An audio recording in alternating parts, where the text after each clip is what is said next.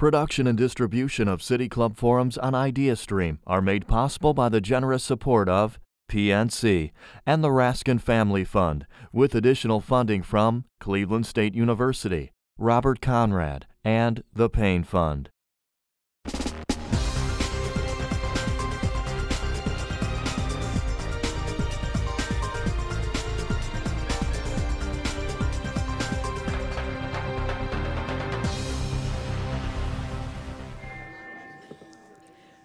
Good afternoon and welcome to the City Club of Cleveland. I'm Kay Rodolfi, a member of the City Club's Board of Directors and co-chair of its Advancement Committee.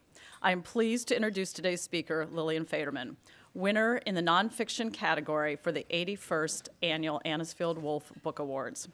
The Anisfield Wolf Book Awards were established in 1935 by poet and philanthropist Edith Anisfield Wolf in honor of her father, John Anisfield, and her husband, Eugene Wolf.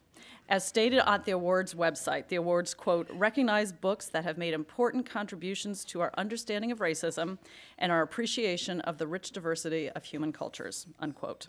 The Cleveland Foundation, the world's first community foundation, has administered the award since 1963. In addition, the Cleveland Foundation has a long-standing history of supporting the LGBT LGBT community beginning as early as the 1980s as lead funders in the community for services, treatments, and advocacy efforts related to the AIDS epidemic. In 2014, the Cleveland Foundation served as the presenting sponsor for Gay Games 9.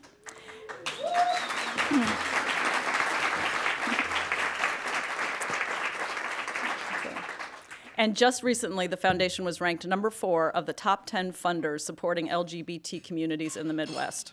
The City Club is pr proud to partner with the Foundation to provide a forum for the winners of these distinguished awards. Ms. Faderman is considered a leading scholar of LGBT history. The Gay Revolution, The Story of the Struggle, is Ms. Faderman's 10th book. It opens with two stories, one taking place in 1948 and one in 2012, highlighting the leaps and bounds that the LGBT community has made in the past 50 years. She chronicles the milestones and heroes we all know about, the Stonewalls, the Harvey Milks, as well as others who we do not know about. The Economist praised the book as, quote, the most comprehensive history to date of America's gay rights movie, movement, end quote. But it is arguably a largely unfinished work, reflecting the continued evolution of gay civil rights in America. The 2015 landmark Supreme Court decision that granted the fundamental right to marry to same sex couples did not mark the end of the struggle. It is just another milestone in a journey that many consider far from over. Despite this Supreme Court decision and the passage of subsequent laws prohibiting sexual orientation or gender identity discrimination, state by state law varies within the LGBT community, leaving many members vulnerable to discrimination in housing, at work, and most recently in bathrooms. How did we arrive at this moment? What is the next in the step in the battle for gay rights? Ladies and gentlemen, members and friends of the City Club, please join me in welcoming 2016 Anisfield Book Award winner for nonfiction, Lillian Faderman.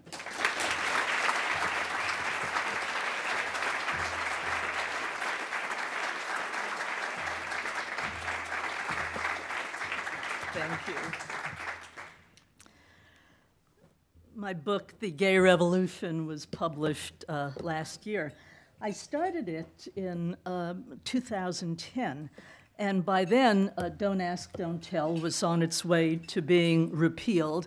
And before I finished the book in uh, June of 2015, thank you, the Supreme Court um, decided Obergefell v. Hodges, which is an, an Ohio case, as I'm sure you knew and it decreed that um, to deny same sex couples the right to marry was unconstitutional. So we have the right to marry everywhere in America now. I knew for sure that I was doing the right thing in writing this book because when we got those rights, everyone seemed to be saying, oh, wow, that was quick. But it has not been quick. It's been a struggle of many, many decades. And that's what I want to trace in the next half hour. My book is uh, over 800 pages, and I'm going to condense 800 pages into half an hour. I'll look at uh, three periods. The first is the early homophile movement, when for the first time LGBT people started organizing to fight persecution. And incidentally, we weren't called LGBTQQIAAPP then. we, we were all called gay in the gay underground, and uh, straight people knew us all as homosexuals. The second period is the radical period that started with uh, an event that everyone knows about the riots at the Stonewall Inn. And then the third period is the mainstreaming of the gay rights movement that focused on winning all the rights of first class American citizenship for LGBTQ people. So I'm going to start in the 1950s. And just as a personal note, I, I came out as a lesbian into the Los Angeles uh, gay subculture in the 1950s. It was probably the, the worst time in the 20th century to come out. My timing was awful. Uh, to, the, to the churches, we were all sinners. To the government, we were all subversives. To the police, we were all criminals. This is uh, uh, an article about uh, the story with which I begin the book a professor at the University of Missouri who was arrested because it was rumored that he was a sodomite and he was fired from his job, and it began a witch hunt in Missouri to the psychiatrists, we were all crazies. This is a photo of uh, two psychiatrists administering um, positive and negative reinforcement to a homosexual to change him into a heterosexual. It was just about this time that homosexuals started to organize, though, to fight against those injustices. Harry Hay was um, a member of the Communist Party, and it was probably his radical views that made it easier for him to conceive of organizing homosexuals. He was also influenced by one other thing, and that was um, uh, the uh, Alfred Kinsey book on sexuality in the American male that came out in 1948 and it said that there were uh, uh, uh, hundreds of thousands, if not millions and millions of people in the United States that had homosexual experiences.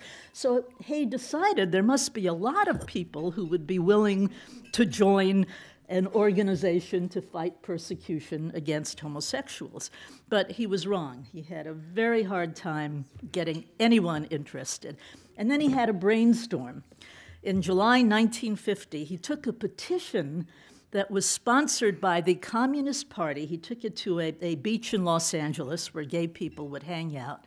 The Korean War had just started, and the petition demanded that U.S. troops be recalled from Korea. It was very controversial and very dangerous to sign such a petition because it was sponsored by the uh, CP.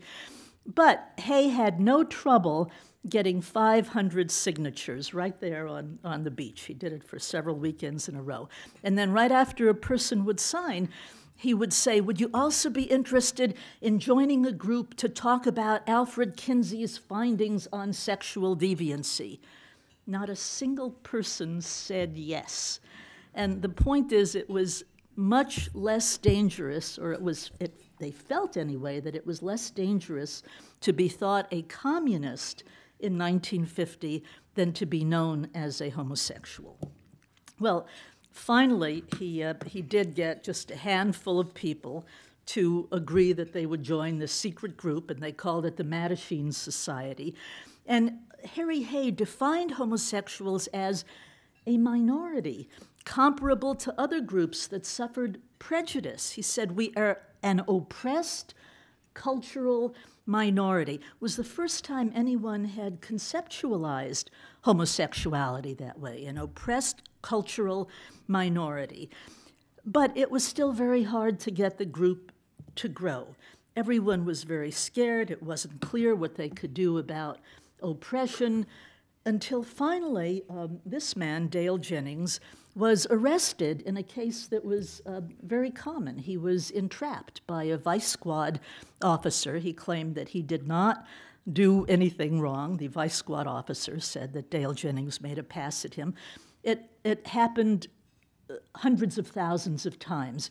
Usually, what would happen is that the person would plead no contest or guilty or whatever, they'd be given a fine, and that would be the end of it, except it would go on the record. Mattachine said to Dale Jennings, You have to fight it. You have to go to court, demand a jury trial. We're going to pay for your defense. And you have to say, Yes, I am a homosexual, but just because I'm a homosexual does not mean that I'm guilty of what I was accused of doing. And he was exonerated. That was the first time anything like that had happened, and so Mattachine began to grow. It, it was never huge, but there were uh, branches of Mattachine all over the country, and then eventually there, were, uh, there was a women's organization, Daughters of Bilitis. Those two are founders of Daughters of Bilitis. It was, it was a fairly tame organization. I think that Del Martin and Phyllis Lyon, the two women in the picture, really did want it to be political, but it was so hard for people to commit themselves to, to a fight for gay rights when it was so criminal to be known as a gay person. But the one important thing that Daughters of Bilitis did is they started a magazine called The Ladder. And that was very vital because for the first time, it actually showed positive images of lesbians and other lesbians all across the country could see those images. This is Lily Vincenz, who was an early member of Daughters of Bilitis. Before that, the images were always of, of uh, neurotic, uh, sick women who uh, belonged either in psychiatry or belonged in jail. They also, for the first time, challenged um, psychiatric, uh, so called uh, knowledge, psychiatric wisdom on homosexuality as a disease. But uh, and, and, the article that you see is by Frank Kameny, and I'll be talking about him uh, in, in a few minutes. Uh, it was an article that really took on these psychiatrists for the first time. But there was conflict in, in all of these groups from the very beginning because some members really loved Harry Hay's lines about homosexuals that said, We are an oppressed cultural minority. That is, we are different from the majority and we only demand to be left alone to live our lives as we see fit without persecution. But there were other members of the groups that argued, as Frank Kameny did, and um, as the editor of the Ladder, Barbara Gittings, did, that except for the insignificant difference of who we love, homosexuals are just like everyone else. That is, we're not a minority, we're just American citizens who are suffering from society's prejudice, and we want all the same rights that every American should have, which means, for example, the right to serve in the military and the right to get married. And this became one of the major conflicts in the gay movement that exists until this day. Are we just like everyone else, except for the insignificant difference of sexual preference or gender identification? Or are we a distinct cultural minority who shouldn't want to assimilate by serving in the military or getting married or doing other things that, quote, bourgeois normals do? one of my uh, biggest heroes of the book is the man that I, I mentioned a few minutes ago, uh, Frank Kameny. He's a very interesting person. He, he got a PhD from Harvard in astronomy in the 1950s, and the first job that he took was for the um, Army Map Service. It was a civilian job, and he was doing very well on the job until the Civil Service Commission did a routine background check and found that he had once been arrested for homosexuality. So he was immediately dismissed from his job, his security clearance was taken away from him, and he decided to fight it. He appealed to absolutely everyone the Civil Service Commission, the Pentagon, uh, who was in charge of the Civil Service Commission, um, every member of Congress. He wrote every member of Congress individually. Um, he appealed to the president, he appealed to the Supreme Court. No one would pay any attention to him. Finally, he formed a branch of the Mattachine Society in Washington in 1961, and he took that organization further than it had ever been before. And the reason he was able to do it, I think, is uh, he was very influenced by Martin Luther King and the, uh, the March on Washington, the 1963 March on Washington for Jobs and Freedom. He actually went with a uh, contingent of uh, Mattachine members. They held up Mattachine signs at the march, which was much less brave than it sounds because nobody knew what Mattachine was, but, but they were a, a presence there in any case. Um, and one of the uh, Mattachine members said, Why can't we do something like this? Why can't we have a gay march? Well, of course, they couldn't have a gay march because there weren't enough out gay people who would be willing to participate in a march, but they were able to do something else. They were able to um, gather pickets, and the first picket in front of the White House was 10 people, and eventually they picketed the Pentagon and the Civil Service Commission and Independence Hall in Philadelphia. At the most, they got 45 people, but that, that was the beginning. That was the first time gay people dared to appear in public, this was in 1965, and say we are homosexual and we demand our rights. Frank Kameny also tried to get a meeting with President Lyndon Johnson. Obviously, he, um, he failed. This is 1965, and you could see from the expression on the guard's face that he was not going to get very far. But he, uh, he goaded um, gay people who'd been fired from civil service jobs to fight the government to get their jobs back. And by the late 1960s, they were beginning to succeed. The courts actually began to tell the Civil Service Commission that there had to be a nexus, that is, a connection between the person's homosexuality and poor job performance. And if there wasn't that kind of nexus, then that person couldn't be fired. He also took on the American Psychiatric Association. Um, homosexuality was in um, the DSM, the Diagnostic and Statistical Manual of mental disorders. And Frank Kameny and Barbara Gittings, who's the woman in the picture, decided that they would fight the American Psychiatric Association. Eventually, the fight grew to many other people. But in this picture that you're looking at, um, it's a panel with Frank Kameny, Barbara Gittings, and a gay psychiatrist who agreed to appear, but he said, I can't appear as me. And so he's wearing a fright wig and a, um, a crimped mask of Richard Nixon as he, as he gives his presentation.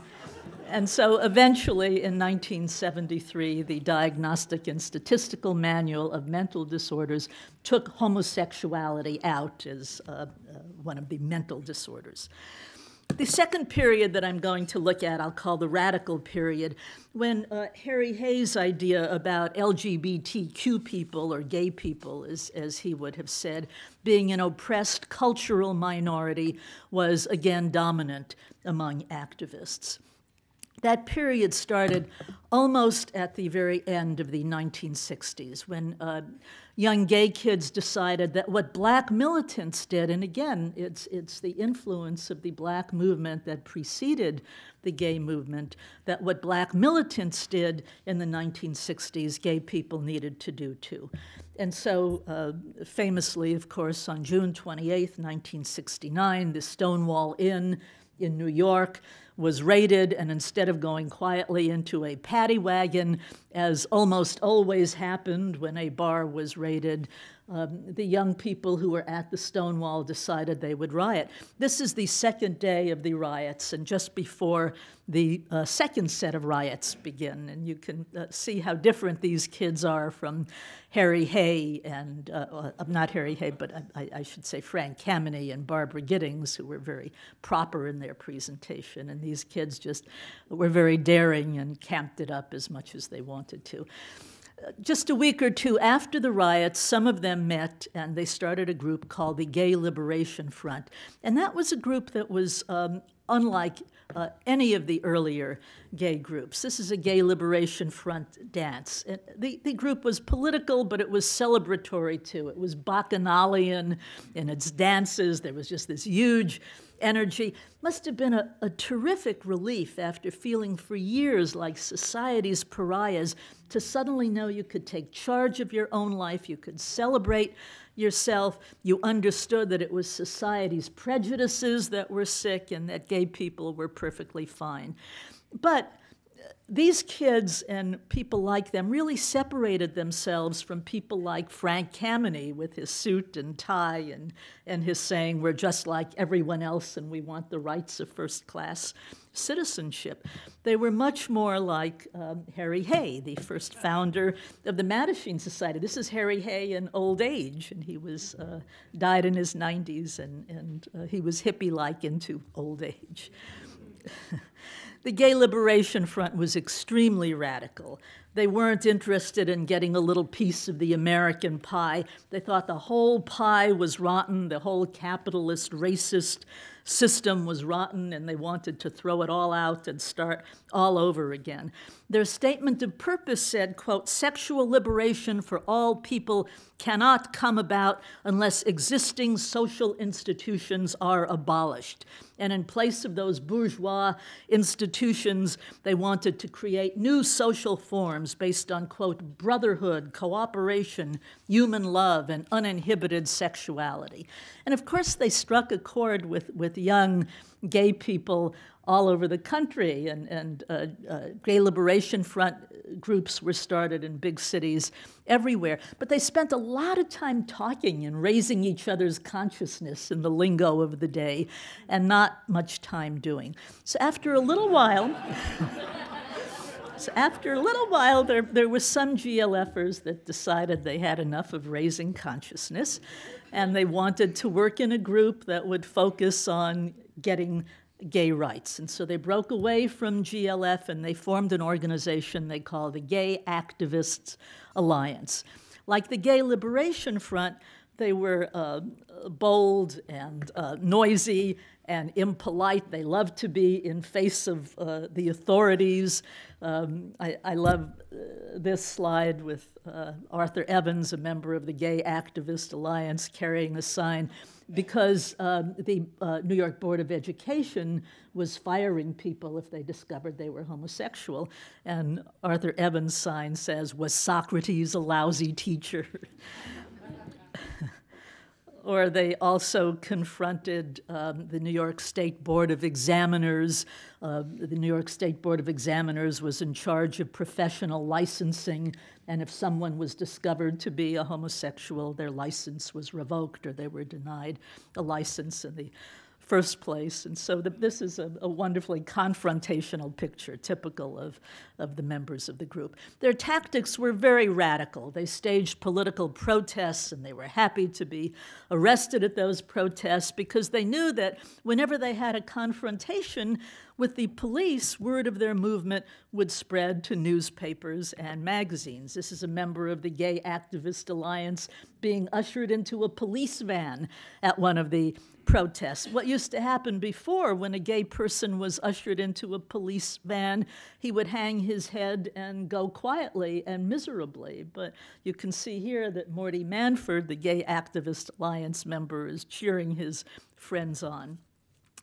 Despite their style, Gay Activist Alliance members were in some ways really assimilationists. They really did want a piece of the pie, and they made very concrete demands for gay rights. They fought, for example, to get cities all over the country to pass gay ordinances saying that gay people would not be discriminated against in housing, in employment, and public accommodations.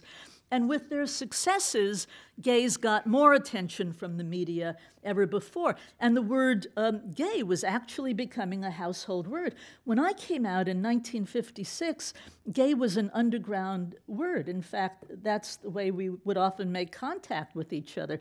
If you suspected another woman was a lesbian, you might say, Are you gay? And if she said, Well, I'm a little depressed today, or something like that, then, then you, you, knew that, you knew she wasn't.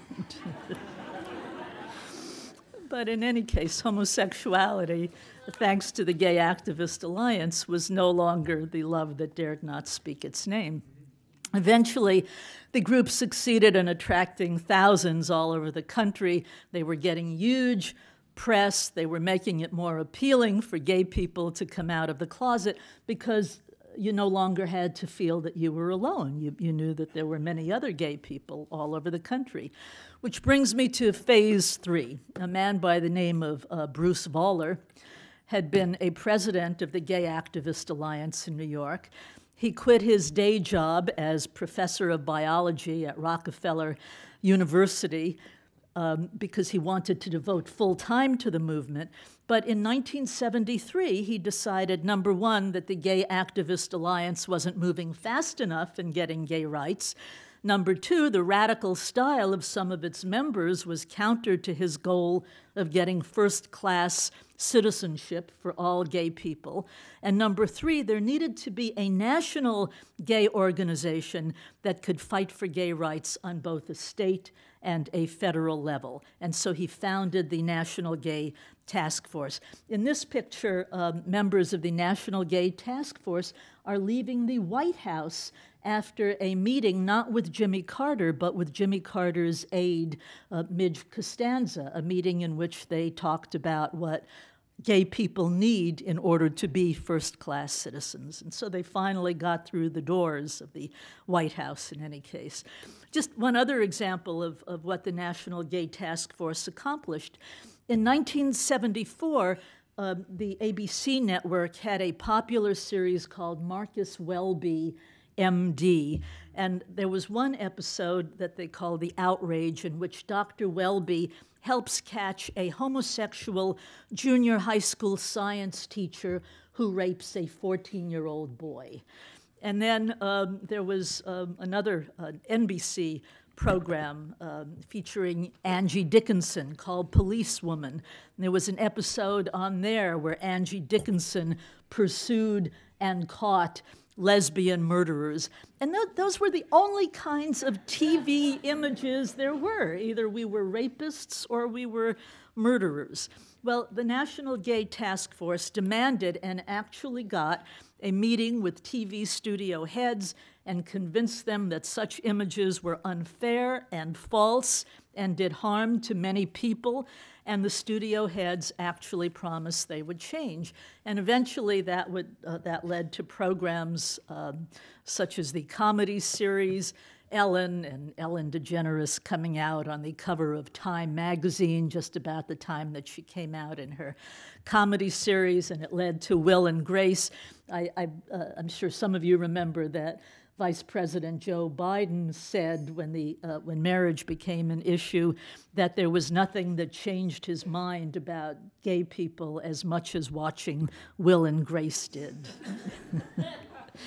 And it also led eventually to programs such as Glee and Modern Family and Transparent and all of the very sympathetic TV treatments of LGBTQ people. But those did not exist before the National Gay Task Force and then other gay groups approached the media and said, This has got to stop. You've got to stop representing us as rapists and murderers was also at the time of the National Gay Task Force in the early 1970s that other mainstreaming organizations formed, such as the Lambda Legal Defense and Education Fund, that fought for the rights of gay people to serve in the military and to stay in the Boy Scouts, and the National Gay Rights Lobby, which eventually became the Human Rights Campaign, whose purpose was to have a presence in Washington, D.C to lobby Congress for gay rights.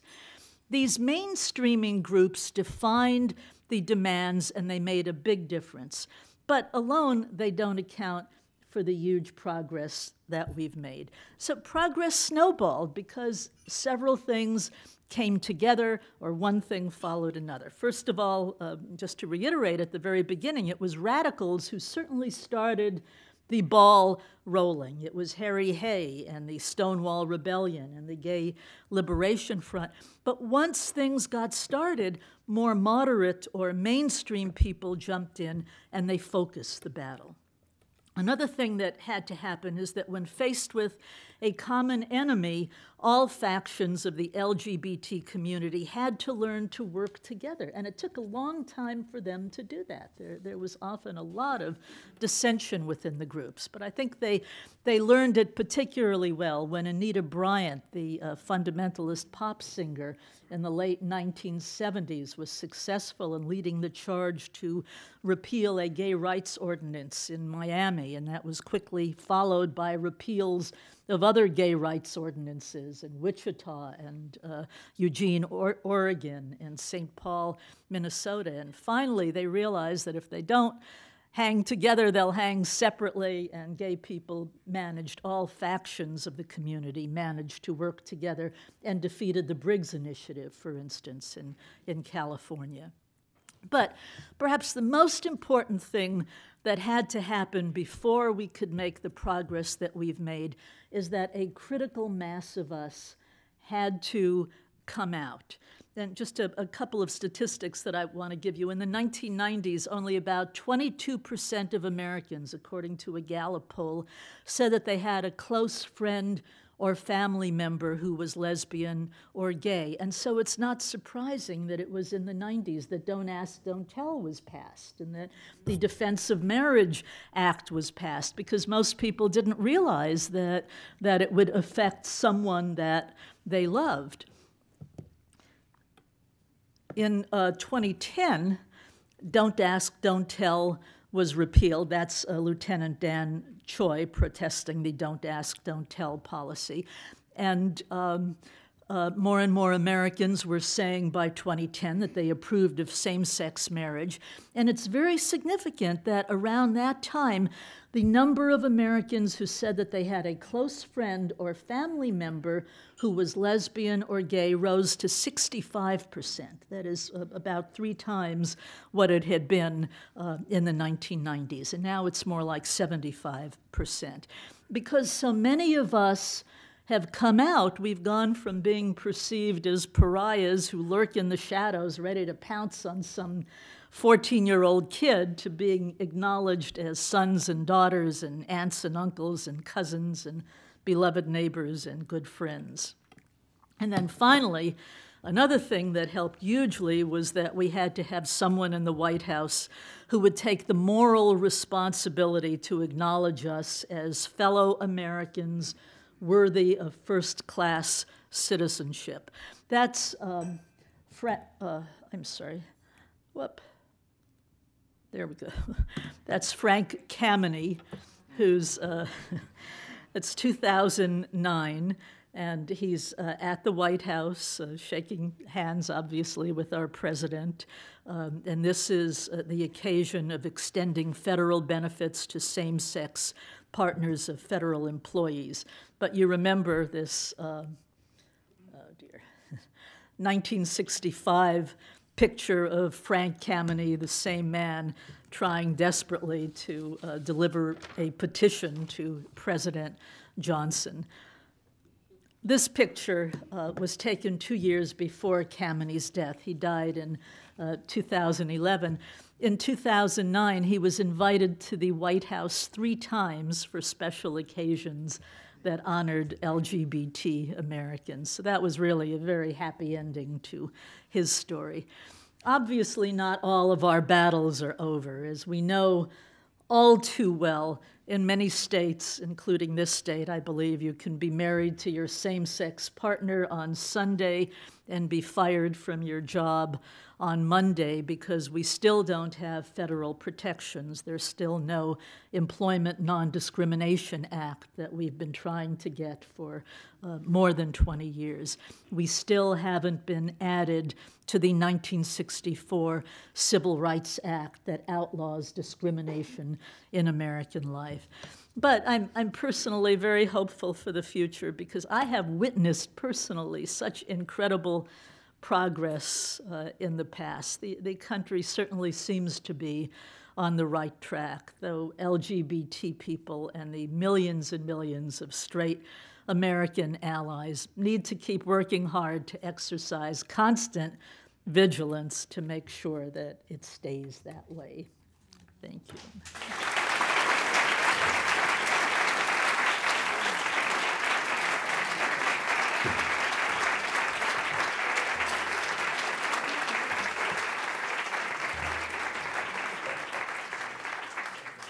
Today we are enjoying a Friday forum with Lillian Faderman, the 2016 Anisfield Wolf Book Award winner for nonfiction. We are about to begin the audience Q&A.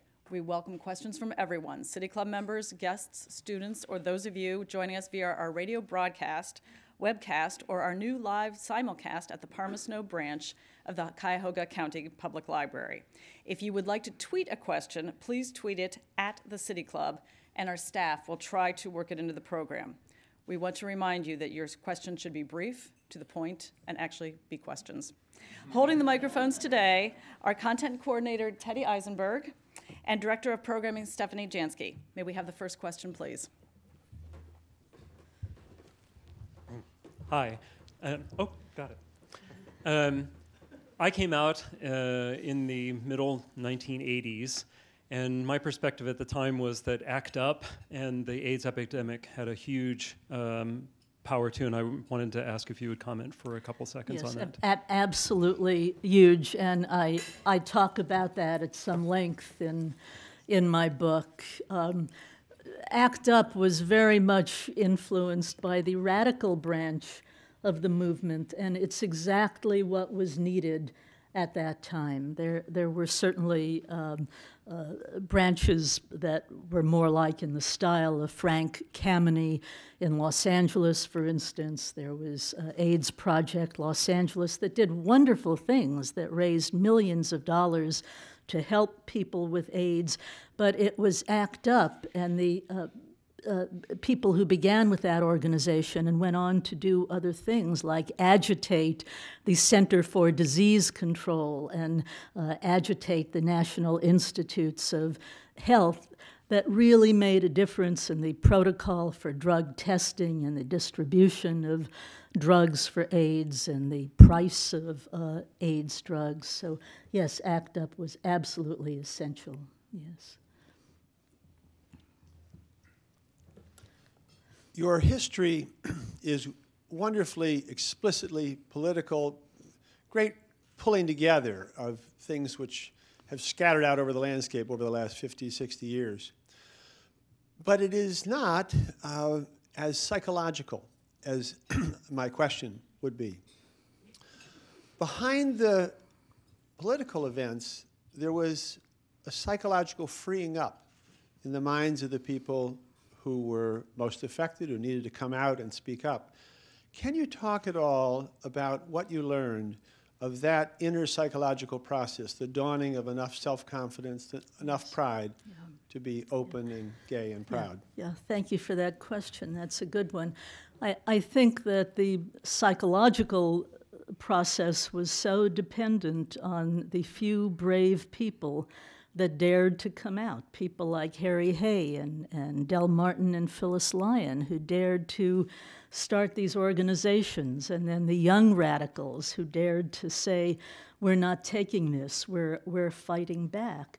I think it was so important for people who were closeted to understand that that you don't have to take it. You, you can fight back. You can demand first class American citizenship. You can demand that the truth about you be told. But that, that wouldn't have been possible if there hadn't been this critical mass of people earlier who came out and wrote the newspaper articles and, and published the magazines that made it safer for others to come out. And then slowly it, it snowballed, and more and more people felt safe to, to come out. Um, but I, I, I, think before the beginning of the uh, early parts of the movement, it, it was so frightening to be known as a homosexual because you felt that you were totally alone. There was just total isolation. And once a critical mass said, We're here too, you're not alone, it made it so much easier for more and more people to come out.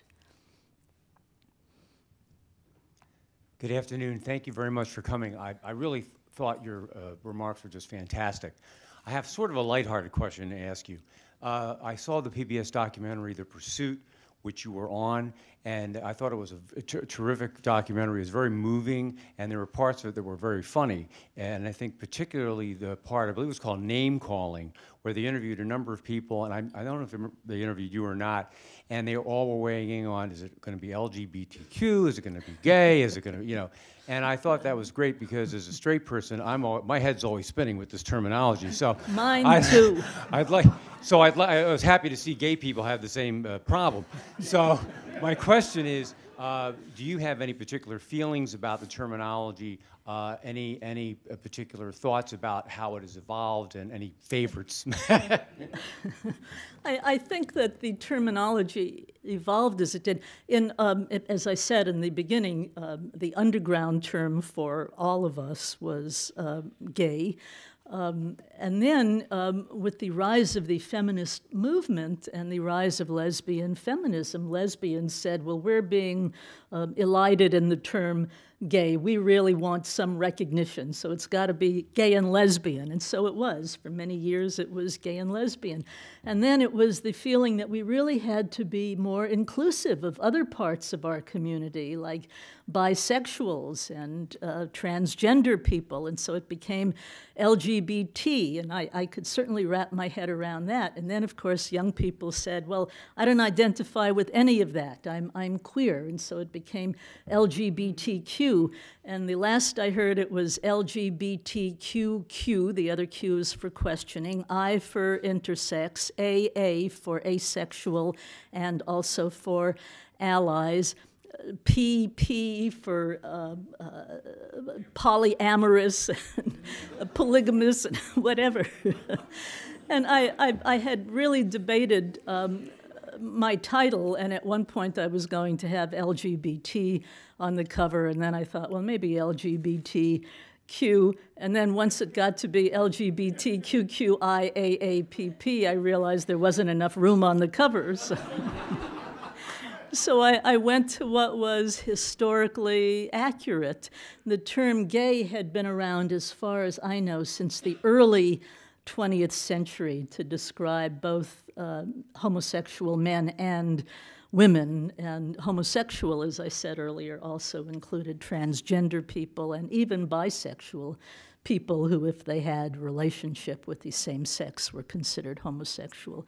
So it's it's a long history, and I'm I'm sympathetic to. Um, the, the drive to recognize all aspects of the community, but I fear that the acronym is getting out of hand with 10 letters already. So, so I go back to what I grew up with that is the word gay. for uh, speaking today and congratulations on, your award. Uh, I have uh, a question for you um, because eh, despite the great, great advances we've seen uh, in our lifetimes. Uh, one of the th one of the larger issues I wanted to see if you could perhaps comment upon is um, how uh, the movement can uh, embrace uh, uh, people of color in this country, especially. Um, I'm very much struck by um, uh, how wonderful our sellout crowd is for this event, uh, but uh, it still is not representative of certainly uh, our broad, you know, identification across, you know, race as we describe it in America. Uh, so I wanted to see if you could comment on that. And I also wanted to thank you for revising um, my concept about Angie Dickinson and Policewoman, because uh, I, I wasn't sure what was going on when I saw that show as an eight year old, but I now have a better idea of that, and now she's off the list. So thank you. yes, yeah. First of all, let me say I, I don't think there would be a movement or there wouldn't be much of a movement without people of color. I, I think that that the movement was very influenced by the black movement, and I think most activists realize that and are grateful to to the black movement for leading the way. And even um, Harry Hay's conception of gay people being an oppressed cultural minority. That was language, of course, that he took from the early Negro movement, as it was called at that time. I, I think the LGBTQ movement is very aware of the fact that, uh, that we owe a lot to um, the African American movement and very aware of the fact that that uh, many LGBTQ people are indeed African American, and their stories need to be heard more and more. And I, I, tried to do that in the book. I tried to incorporate the stories of African Americans and uh, other uh, racial and uh, uh ethnic minorities in the book, and I think that's really crucial. Good afternoon. As you know, a little over two years ago, we had the Gay Games here in Cleveland, and thanks to Cleveland Foundation and a host of people who contributed, we threw a hell of a party here in, in town. Can you comment on how events like that help progress uh, the progress for the community? Yes. Yeah, I, I, was very disappointed because originally the Gay Games were called the Gay Olympics, and the Olympic Committee actually sued the Gay Olympics to change their name. But I, I think it's, it's certainly crucial that um, gay athletes come out as they have been. I was absolutely thrilled when Michael Sam came out a couple of years ago as the first out football player while he was still playing football, and a number of other athletes have, have come out. Uh, but uh, one reason that, that uh, these athletic programs are so crucial is that they blast through the ridiculous stereotypes that some people still hold in their head about uh, gay men, particularly. Um, so I'm, I'm, I'm not uh, a sports fan myself, but I'm really very, very grateful for the gay games for doing what they've done.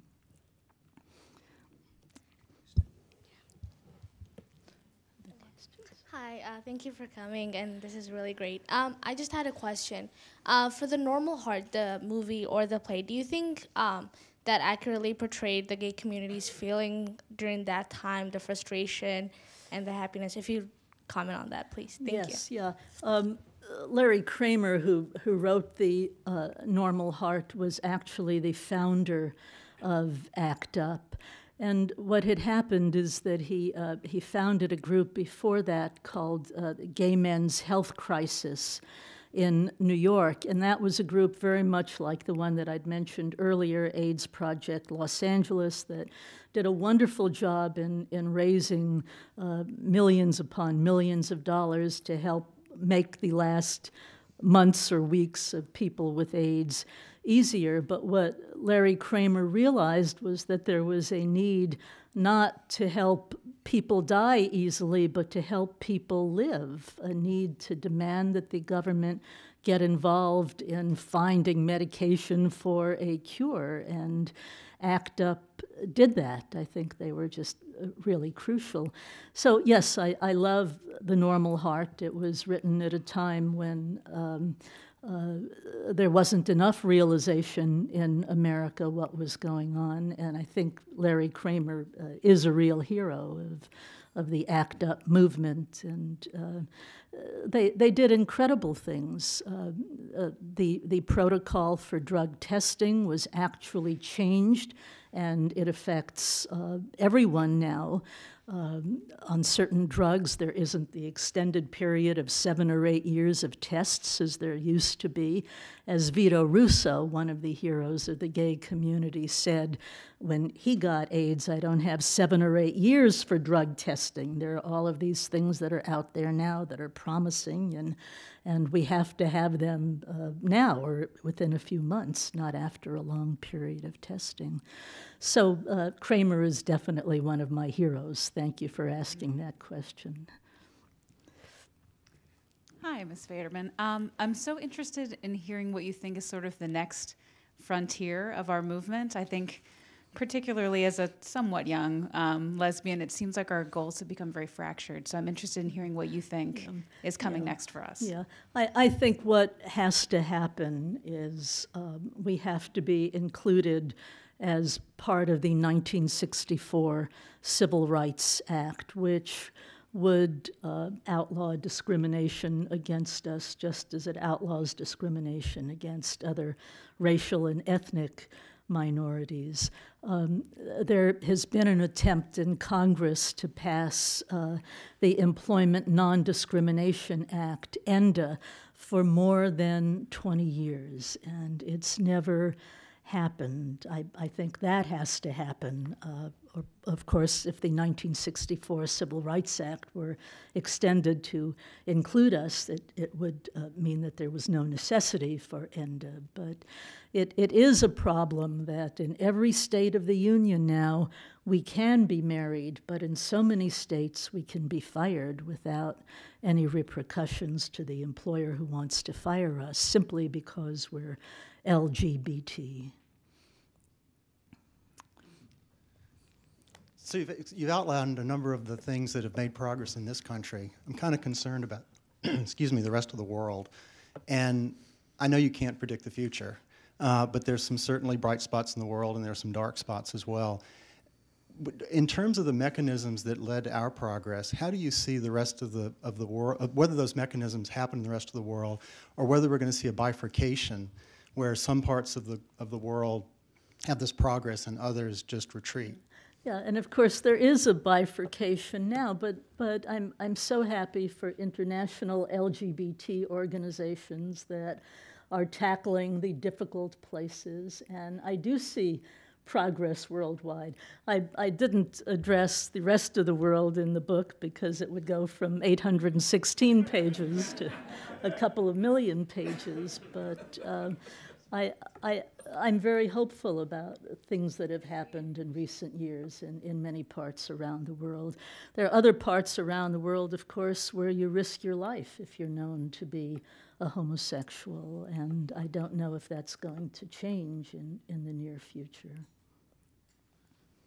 And actually, um, thinking similarly, I, uh, I've lived overseas for about 10 years. Back in the 90s, um, when a lot of my gay friends were coming out, um, they wanted to have kind of mutual tests for AIDS to show their commitments. Um, and particularly in Latin America, the gays wanted nothing of it. Um, and it really hurt the feelings um, and sentiments of relationships between my American gay friends and, and those in Latin America. Ended up being in um, Central and uh, Eastern Europe as well. Very similar cultural issues. First of all, I, guess I look forward to more of international um, history. I think the scholarship in your book is just terrific for for uh, for shining a light uh, on the importance and the and the varied history that the gay rights movement has. But um, pertaining to that, we live in such a small global world now, um, and I guess what would be um, the highlights, I guess, relative to positive aspects of other countries and other cultures relative to embracing and really getting to the hard work of actually approving uh, legislatively uh, human rights, um, as I said, uh, or as others have said. Yeah. What, what I'm hoping is that um, most of Western Europe approves of uh, same sex marriage now, and the United States, of course, has uh, same sex marriage all over the, the country. What I'm hoping is that the rest of the world will see that we're doing it and the countries aren't falling apart because of us. And I, I imagine that evolution will be gradual. It's not going to happen overnight. I, I think often fundamentalist religion, whatever that religion is, has been the biggest enemy of, of uh, rights for LGBT people. But I, I think that, that the longer we live as we live openly, the rest of the world will surely see that, that it's viable and prejudice against us will eventually disappear.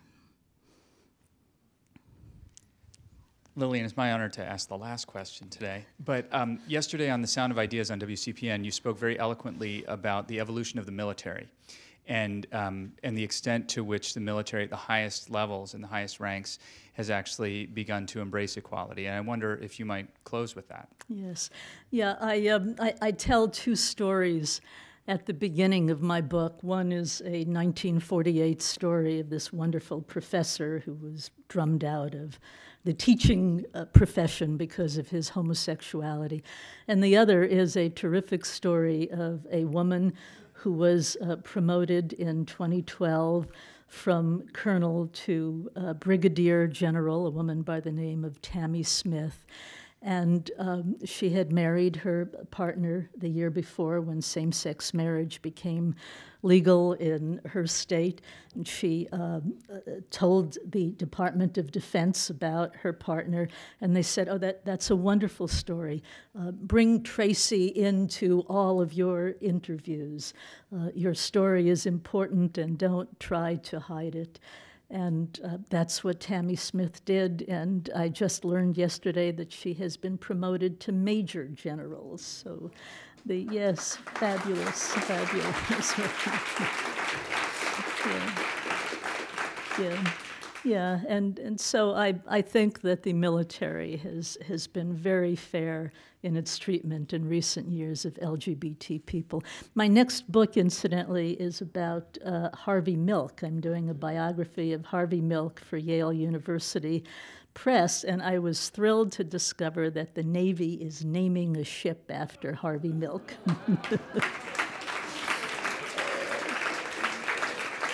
he, he spent four years in the Navy, very closeted, of course. He, he would think this was so fabulous and so incredible.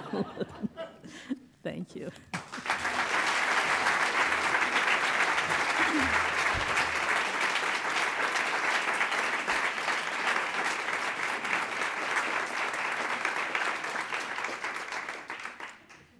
Today at the City Club, we have been enjoying a Friday forum with Lillian Faderman, the 2016 Anisfield Wolf Book Award winner for nonfiction. Ms. Faderman is here today as part of the Larry and Barbara Robinson Family Foundation Forum, made possible by a generous gift from the Robinsons. Barbara Robinson is here with us today. We thank you for your continued support of City Club.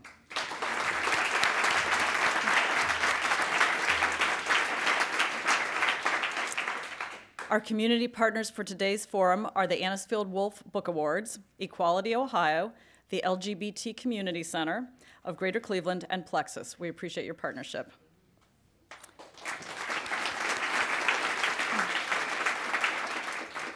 We welcome guests at tables hosted by Case Western University Sages, the Cleveland Foundation, and Key Bank. We also welcome students from St. Ignatius High School.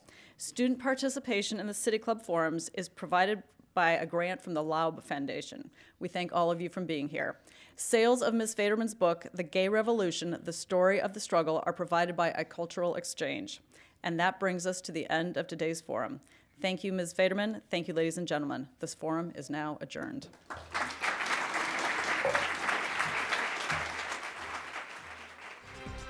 For information on upcoming speakers or for podcasts of the City Club, go to cityclub.org.